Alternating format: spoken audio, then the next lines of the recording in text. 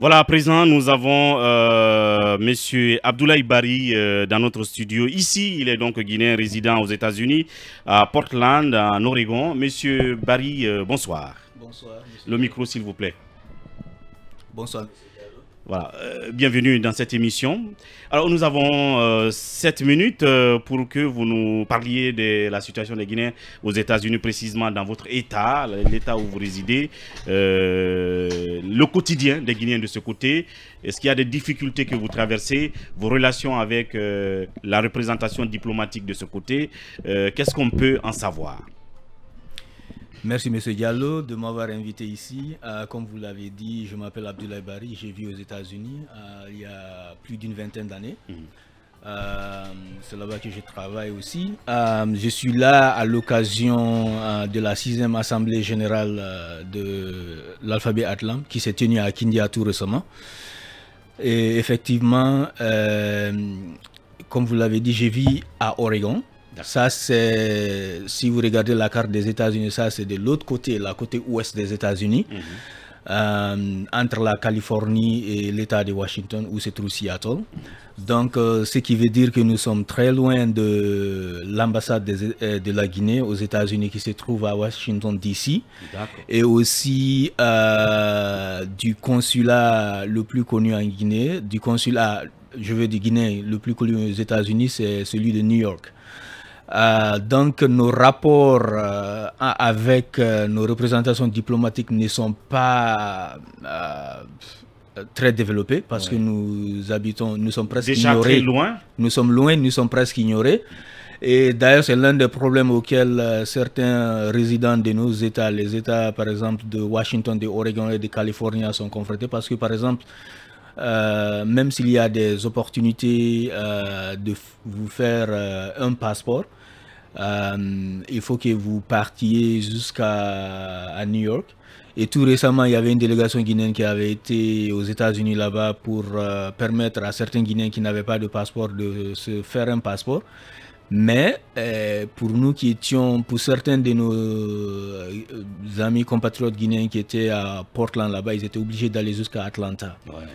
Avec le coût que ça engendre. Voilà, et les délais, donc euh, si vous avez besoin d'un passeport dans l'immédiat, ce n'est pas du tout possible. Euh, alors que par exemple aux États-Unis, là-bas, moi, si j'ai besoin d'un passeport, tout ce que je fais, c'est de prendre mes photos et remplir un formulaire que je télécharge à partir de l'Internet et envoyer ça à la poste. Donc- payer les frais donc en le- tant qu'Américain. Donc le premier souci que nos compatriotes guinéens qui la résident documentation. à Oregon aujourd'hui, c'est les questions de documentation, mais la proximité de la représentation diplomatique. Oui. Donc la solution qui pourrait être donnée si vous devez euh, interpeller les nouvelles autorités, c'est d'aller installer euh, un consulat ou une représentation plus près de ces États qui sont par là-bas. C'est la demande que vous faites? Non, pas nécessairement, mais il faut.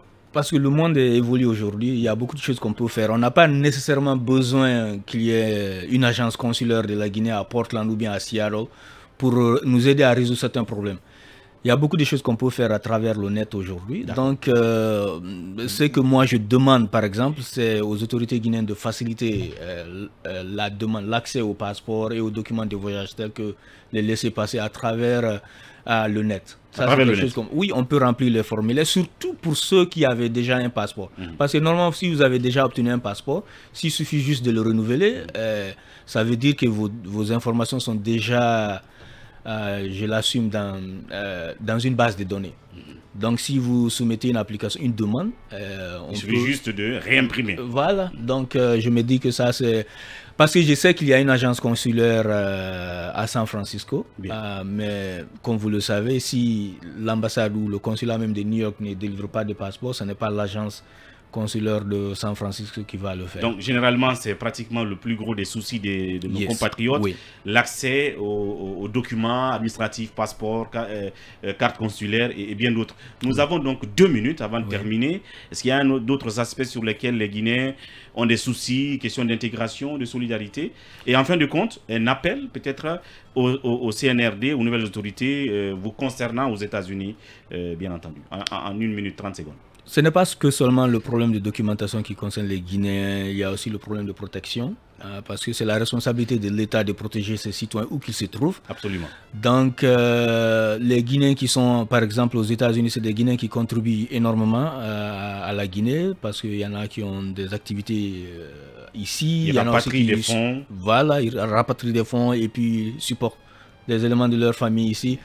Donc, euh, si des Guinéens, ces Guinéens sont en situation difficile aux États-Unis, c'est de la responsabilité de nos services consulaires de leur venir en aide et de ne pas se dire que euh, simplement les Guinéens doivent obéir aux lois de leur pays d'accueil, mais c'est de la responsabilité aussi de nos dirigeants d'accompagner nos citoyens, de les aider à s'intégrer et aussi, euh, il y a deux services auxquels, par exemple, euh, les Guinéens pourraient avoir accès, mais qui ne sont pas peut-être connus, même s'ils sont disponibles. Par exemple, l'enregistrement des naissances, euh, des mariages, des décès et autres. même si ça se fait, c'est quelque chose dont on n'est pas trop au courant, mais c'est de la responsabilité aussi de nos services consulaires. Ça, c'est quelque chose que le, le gouvernement devrait revoir. Il ne faudrait pas que nos services consulaires se limitent seulement à défendre les intérêts de l'État, Mhm. Mais et oublier les citoyens. Voilà, les citoyens. Voilà. Euh, ça a été bref, mais concis, précis. Je pense que les autorités l'ont entendu, mais nous aurons d'autres possibilités aussi pour euh, euh, développer tout ça dans les détails. Je rappelle aussi que vous développez l'alphabet Adlam, Adlam du côté des États-Unis.